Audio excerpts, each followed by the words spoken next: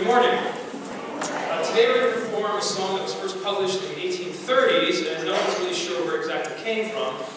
But it became very popular uh, very quickly, and oddly enough, it became a very important song for seafarers in Europe, of all places. But it's about America, and it's a wonderful melody. It's done a thousand different ways. It's part of the American Folk Catalog, one of the principal songs of the American Folk Catalog. It's called Shenandoah. And we'd like to uh, welcome Lydia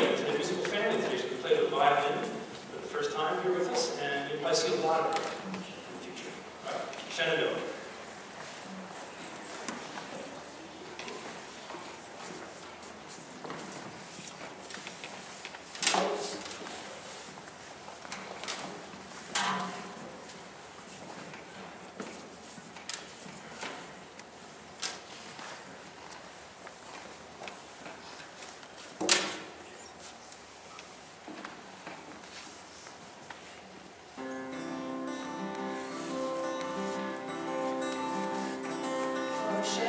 side.